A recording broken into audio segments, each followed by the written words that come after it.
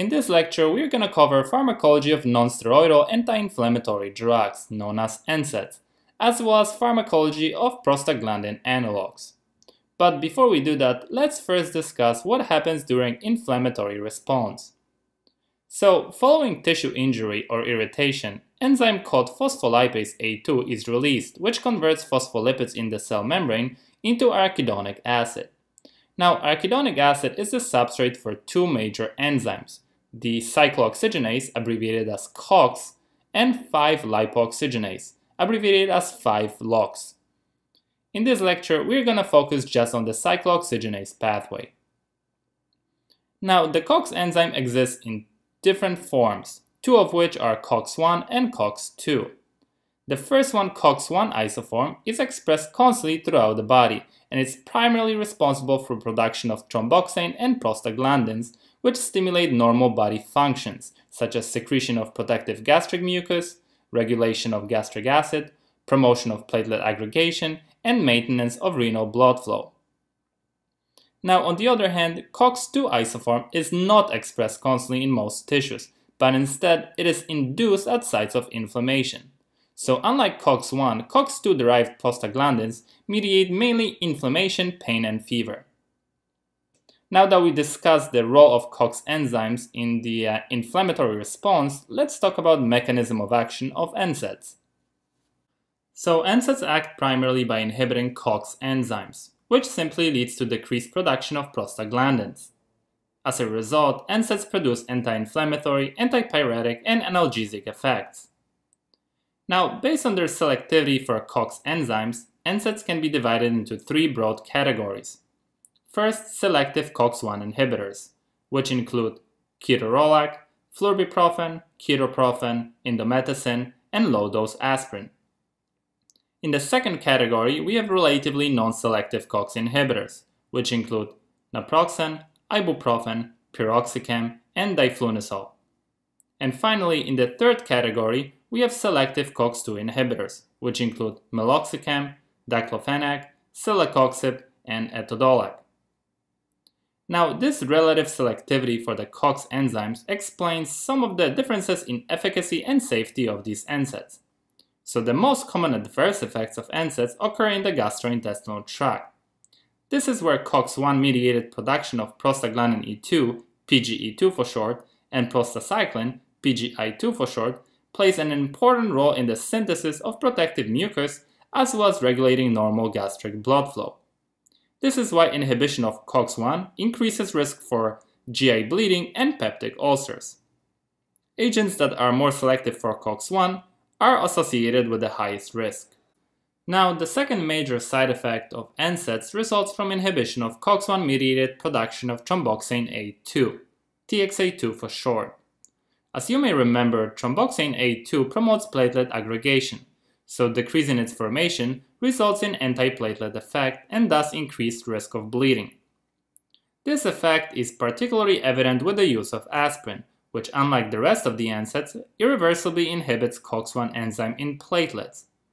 Moreover, because platelets don't have nucleus, they can't make new enzyme, so aspirin-induced antiplatelet effect persists even after aspirin therapy is stopped, as it takes several days for the new platelets to replace the old ones. So again, agents with higher selectivity for COX-1 enzyme are also associated with prolonged bleeding time.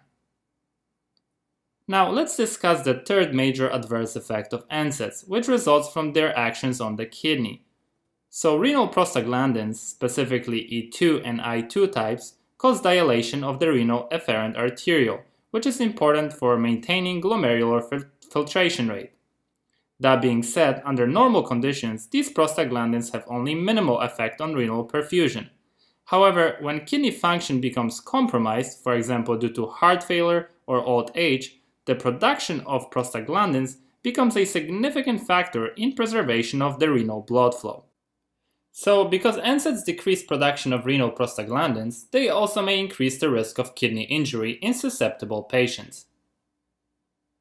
Now, the last major adverse effect of NSAIDs that I wanted to discuss results from their actions on cardiovascular system.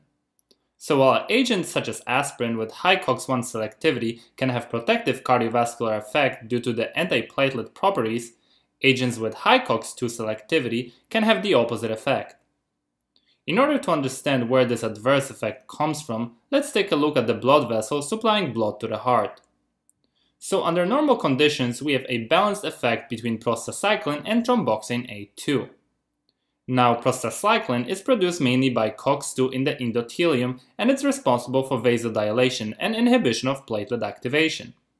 On the other hand, thromboxane A2 is produced mainly by COX-1 in platelets and it's responsible for vasoconstriction and promotion of platelet aggregation. So now, the problem arises when selective inhibition of COX-2 tips the balance in favor of thromboxane A2 formation. This makes vasoconstriction and platelet aggregation more likely to occur. This in turn leads to increased risk of cardiovascular events, including myocardial infarction and stroke. Now that we discussed NSAIDs, let's talk a little bit more about prostaglandins. So even though prostaglandins can produce many unwanted effects such as inflammation, they're also responsible for many beneficial effects. In order to harness those beneficial effects, scientists develop prostaglandin analogs which simply mimic our endogenous prostaglandins. Now, prostaglandins exert their effects by interacting with specific G-protein coupled prostaglandin receptor, of which there are at least 9 known subtypes. The effects of particular prostaglandin may vary widely depending on the tissue and expressed receptors. So now let's discuss some of the commonly used prostaglandin analogs starting with analogs of prostaglandin E1. Example of agents that belong to this group are alprostadil, lubiprostone, and misoprostol. Although all these agents are derived from prostaglandin E1, they were designed for different therapeutic purposes. So alprostadil has two main therapeutic uses. First is erectile dysfunction. When alprostadil is applied into the urethra, it acts via direct stimulation of CAMP pathway to decrease intracellular calcium levels, allowing for relaxation of trabecular smooth muscle and dilation of cavernosal arteries. This ultimately leads to improved erectile function. Secondly, alprostadil is used in neonates with congenital heart defects to temporarily maintain the patency of ductus arteriosus. So for those of you who need a refresher, Ductus arteriosus is a blood vessel found in babies before birth that allows blood to bypass the pathway to the lungs.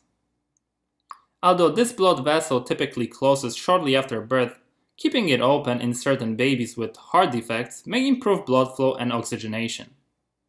So infusion of alprostadil relaxes the ductus arteriosus and supports its patency until surgery can be performed. Now let's move on to the next prostaglandin E1 analog, that is lubiprostone.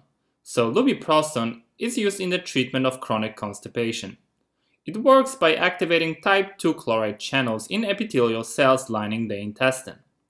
By stimulating these channels, lubiprostone promotes secretion of chloride, followed by passive secretion of sodium and water, which increase the liquidity of the intestinal contents.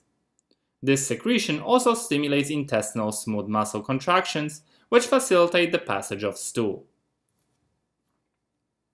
Now let's move on to the next prostaglandin E1 analog, that is misoprostol. So misoprostol is another prostaglandin E1 analog, and it is used to treat and prevent stomach ulcers, particularly in patients taking NSAIDs. It can also be used to induce labor. Misoprostol works by binding to the prostaglandin receptor on the gastric parietal cell and causing decrease in intracellular CAMP, leading to decreased activity of proton pump and thus modest inhibition of acid secretion. Furthermore, misoprostol protects the stomach lining by increasing bicarbonate and mucus production. Lastly, by interacting with prostaglandin receptors in the uterus, misoprostol causes softening of cervix and uterine con contractions, leading to the expulsion of the uterine contents. Now let's move on to prostaglandin F2 alpha analogs. Example of agents that belong to this group are bimatoprost, latanoprost, and travoprost. These agents are used ophthalmically for treatment of open-angle glaucoma. They work by increasing the outflow of aqueous fluid from the eye and thus lowering intraocular pressure. Although latanoprost and travoprost accomplish that by interacting with prostaglandin F receptors located throughout the eye, bimatoprost is thought to have a different mechanism of action, which is currently unknown. Furthermore, among the unique side effects of bimatoprost is elongation and darkening of the eyelashes, which makes bimatoprost useful in treatment of eyelash hypotrichosis. Now let's move on to the last group of analogs, that is prostacyclin analogs. Example of agents that belong to this group are iloprost and treprostinil. These agents are used to treat pulmonary arterial hypertension. They work by increasing production of CAMP, which leads to decreased levels of intracellular calcium in pulmonary vascular smooth muscle cells, ultimately causing vasodilation. This results in significant reduction in pulmonary vascular resistance and enhanced cardiac index. And with that, I wanted to thank you for watching. I hope you enjoyed this video, and as always, stay tuned for more.